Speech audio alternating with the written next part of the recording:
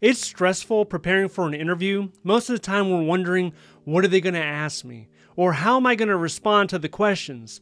But it's important first to have the basics down, and that means you have to practice your introduction, research the agency and company, rehearse your success stories, and brush up on behavioral questions. But the problem is the competition's doing the same thing. So, how do you stand out from the other people that want the job just as bad as you? And in one word, curiosity. Why does this matter? Because people like to be comfortable.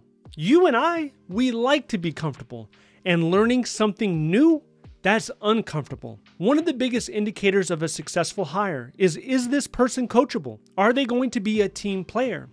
And curiosity is one of the most common traits of being intelligent. It could mean that you're willing to learn faster and better than the next person. Now, I was in an interview a while back, and a guy, he showed up, he sat down. The entire time we had the interview, he was looking at the window over my head. So it didn't seem like he ever truly became comfortable. Very unapproachable vibes. And when he was answering questions, I mean, they were a little bit all over the place. I would ask a question about Microsoft Excel, and what he would tell me was a, an answer regarding Microsoft Word. I'm talking about spreadsheets, you know, pivot tables, and here he is talking about embedding images into a Word document.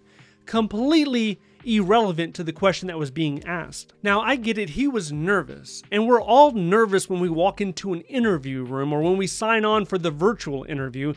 But you need to take the time in order to present your value and sell your skills to that organization.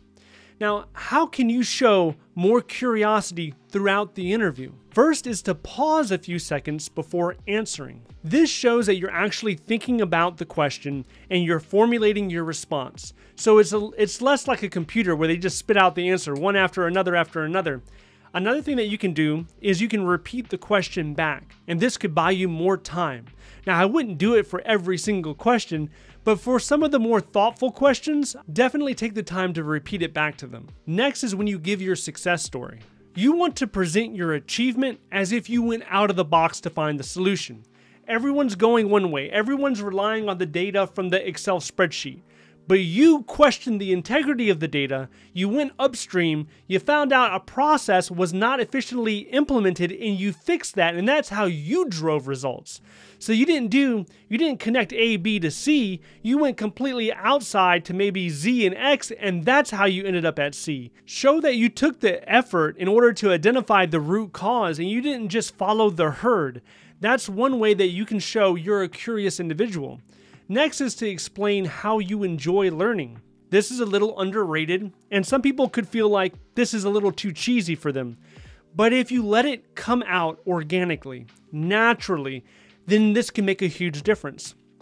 This could be something like they ask you to tell them a little bit about yourself. Maybe they're asking what was your biggest challenge that you had to overcome. And you could tell them that, you know, I had this challenge. This was an obstacle, but I'm the type of individual that loves learning. So I jumped into the regulations, I read the policy letters, and I found the solution, or it assisted me in making a decision. So, you know, look at it from that type of perspective. Next is in the questions you are asking them. So at the end of the interview, they often ask you, Do you have any questions for us? And one of the worst things that you can do is just shake your head and say no because that means you're not really interested. So, what questions should you ask them? A person that's more self interested, they might ask, Can I negotiate the salary? When are you planning on making a selection for this position? Now, a person that's more focused on the organization or that's more curious, they could ask something like, Can you describe the work culture in your office? What's the current strategy for you to attain the objectives that you're after? What does the next six months look like for this position?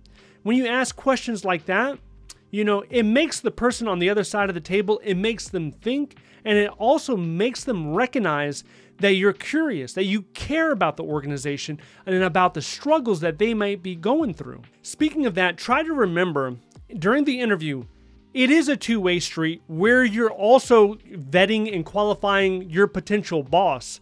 So it's not all one sided that aside, also keep in mind that you're really there to see if you can find a solution for that organization. The company, the agency, the organization, whatever they are, they're experiencing some sort of pain. And that's why the job is open. So it could be a project with no project manager.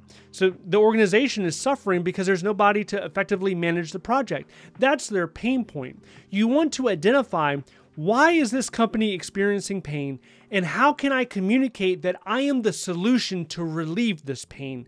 If you can get that down, that's going to put you far ahead of at least 50 or 60% of the people that are interviewing. So try to make it about them. Now, if red flags are coming up with the hiring manager or, or your future boss, if red flags are coming up, disqualify them. You can always walk away, you can reject the job offer, but that's kind of the mindset that I would take when getting into an interview type situation. And don't forget to practice. The practice really shows through. If you take somebody who practiced, let's say 10 or 20 times, and they come into the interview, they're going to perform at least three times better than the person that just says, you know what, I'm just going to try to wing it today. Let's just see what happens. I don't even really want this job anyway. If you do that, you're not getting the full value of the experience. Even if you do not want the job, Go on the interviews and try to hone the skill of communicating, of doing well in an interview. And if you do that, you'll find yourself in a position where not only will you have a lot of interviews, but you will be in a position where you have a lot of job offers coming in. And that is when you can start being selective.